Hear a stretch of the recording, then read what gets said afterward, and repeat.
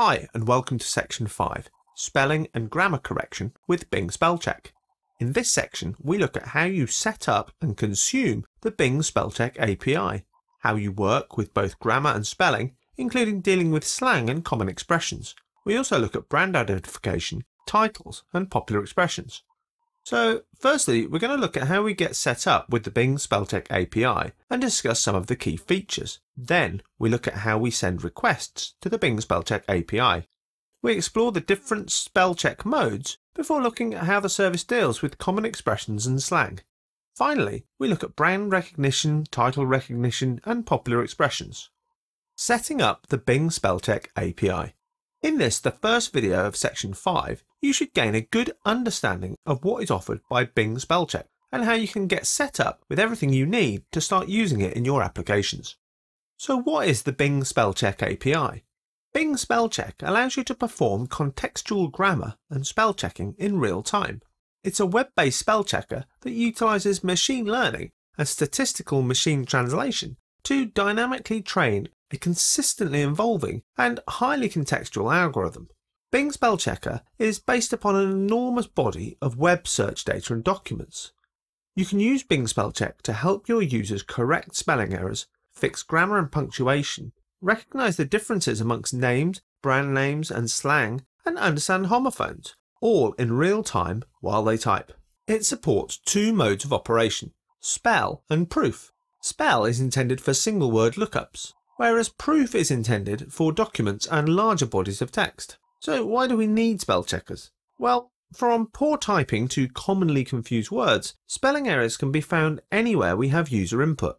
You can increase users' confidence in your application and improve the quality of the content you produce by adding these advanced spelling and grammar checking features to your application. Bing spell check is always up to date, meaning that verbal trends, slang and brand names are always available in your application. While most spell checkers use a dictionary-based rule set, Bing Spellcheck uses machine learning, which provides much more accurate and contextually aware corrections. Like all other services in the Cognitive Services offering, Bing Spellcheck is a RESTful API, which ensures it can be consumed from any language that can issue HTTP requests and pass JSON responses. You can make GET or POST requests depending upon the size of the string that you're trying to analyze. We'll talk more about this later. There is also a Bing Spellcheck SDK, which can be used by .NET Framework languages, and we'll be using that in the next video. So in order to get started, you're going to need to create a new Bing Spellcheck API resource in Azure. There are two pricing tiers available, free and standard.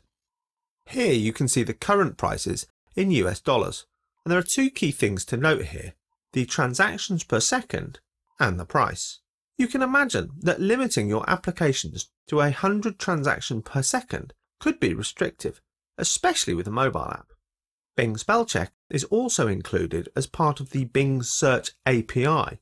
This is a bundled offering that includes all of the search endpoints and supports 250 transactions per second. It's also included in the Cognitive Services resource type as well. More information on pricing can be found at this URL. These prices and service levels are liable to change or vary by region, so please check your local pricing.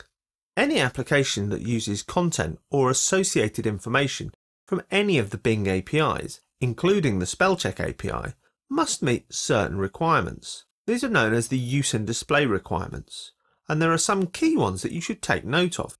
You must display the correct Bing branding and provide a link to the Microsoft privacy statement, and you cannot copy, store or cache any data from responses.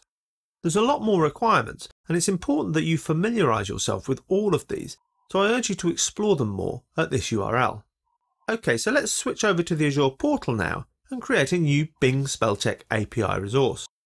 Okay, so here we are in the Azure portal.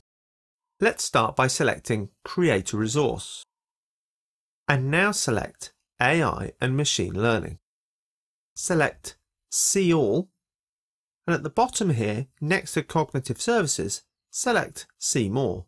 Here we can see all of the services offered as part of Cognitive Services there are actually three different ways that we can make use of Bing Spellcheck. By using a Cognitive Services resource, by using a Bing Search v7 resource, or by using the Bing Spellcheck API. Let's go for the latter. Each has slightly different quotas and pricing, so be sure to choose the right one for your requirements. So let's select Bing Spellcheck v7 and then click Create. Give your service a name and then select the free pricing tier, a resource group, and then click Create. When the deployment is complete, browse to the new service and select Overview. Here you'll see the endpoint URL. You can also access your access keys. You'll need these to be able to make requests to the API. You can also see here your quota information. It shows how many calls you have remaining in your current billing period. So what did we learn? We got a basic overview of what the Bing Spellcheck API offers, and we learned how to create a new Bing Spellcheck API resource in the Azure portal.